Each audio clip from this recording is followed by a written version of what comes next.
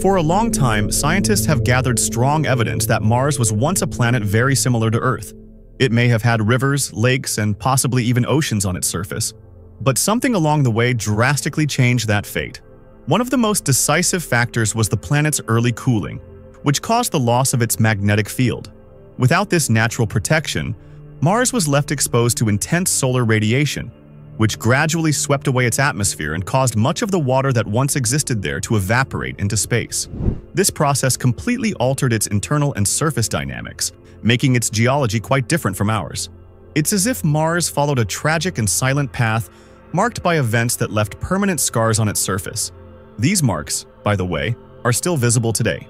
In today's video, we'll explore some of these impressive geological formations, photographed from space, that reveal the hidden history of a turbulent past on the red planet. Although it's just over half the size of Earth, Mars is often referred to as our little brother. And the comparison makes sense. Its surface functions almost like an open-air museum, where the remnants of intense geological eras can still be observed. Massive valleys, enormous mountains, and colossal volcanoes shape a dramatic landscape, as if the planet had been frozen in a time of extremes. One of the most striking examples is Olympus Mons, considered the largest volcano in the entire solar system. It rises 27 kilometers high, more than three times the height of Mount Everest, measured from base to summit. Even though it's been inactive for millions, maybe billions of years, its grandeur is still awe-inspiring, standing as one of the greatest testaments to the geological power Mars once held in its distant past. But unlike Earth, Mars doesn't have an active tectonic plate system. Here on our planet, plates constantly move, shaping mountains, opening oceans, and triggering earthquakes. On Mars, the story is different. Its lithosphere, the outer layer of the crust, is so thick it can reach up to 200 kilometers, which practically prevents any significant tectonic movement. For comparison, Earth's continental lithosphere is, on average, just 40 kilometers thick. This structural rigidity explains why the planet doesn't display the same dynamic geological patterns we see here. Still, Mars's internal heat and mantle convection movements were enough to create extraordinary structures, like the vast canyon system known as Valles Marineris and Olympus Mons itself. In fact, it's believed that Mars has only two major geological plates, which highlights just how different its internal mechanics are. Despite appearing geologically dormant, Mars still shows signs of activity. Before it ended its mission, the InSight lander recorded tremors on the Martian surface, the so-called Marsquakes. These seismic events are evidence that something inside is still moving. But what exactly causes them? Could it be ancient geological faults, the planet shrinking as it cools, or something we haven't yet figured out? These questions remain unanswered, while Mars continues to serve as a natural laboratory where time and silence are the main ingredients of scientific research.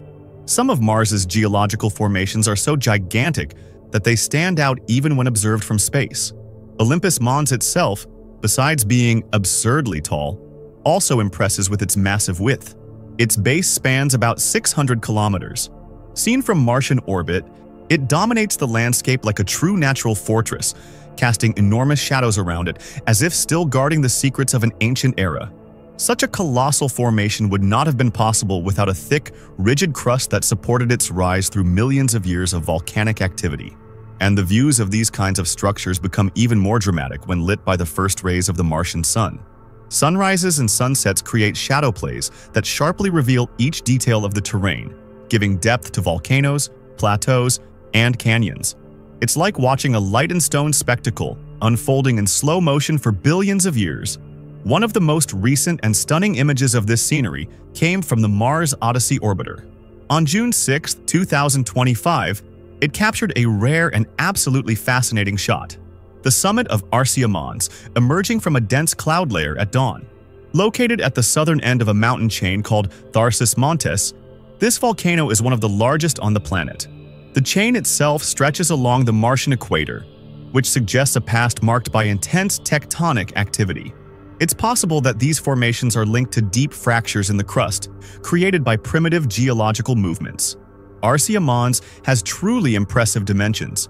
It stands around 20 kilometers tall and spans 400 kilometers in diameter. A true geological monster, capable of piercing through Mars's thin atmosphere and directly interacting with it, altering how clouds and winds behave around it. That's exactly the scene captured by the Odyssey orbiter, the peak of Arsia Mons rising above a frosty mist at dawn, as if the volcano were peeking through the clouds. The formation of these clouds has a curious explanation. As air rises along the slopes of the volcano, it cools rapidly and condenses, forming extremely thin clouds. It's a subtle atmospheric spectacle, but a deeply revealing one. And in this case, we're not talking about ordinary clouds. The composition of the clouds near Arsia Mons is quite specific. They're made of water ice crystals, not dust or carbon dioxide, which is more common with many Martian clouds. This reveals something surprising. Even with its extremely dry surface, Mars's atmosphere still holds enough moisture to form water-based clouds. In certain layers, the amount of vapor can even be higher than in the upper layers of Earth's atmosphere. It's an important clue for understanding the water cycle on the red planet, a fragile but still active cycle that gives us hope of finding signs of past or even present life in underground environments. The image captured by Mars Odyssey marks a historic moment in space exploration. It's the first time the peak of one of the three giants of the Tharsis region has been recorded emerging on the horizon with a perspective similar to what astronauts see from the window of the International Space Station when looking at Earth. This type of orbital angle not only creates a stunning visual effect, but also provides valuable scientific data on the interaction between terrain and atmosphere on Mars. By studying how sunlight hits the top of a volcano while the rest of the planet remains in shadow, scientists can analyze the different behaviors of the atmospheric layers, something essential for understanding Mars's climate dynamics. This comparison with images of mountains photographed from Earth orbit is more than just aesthetic. It brings us closer to Martian geology in an almost intimate way. Watching the sun slowly paint the icy outlines of Arsia Mons gives us the feeling that the planet is breathing, not with life, but with history. And even if it seems silent and asleep, Mars is far from being a dead world.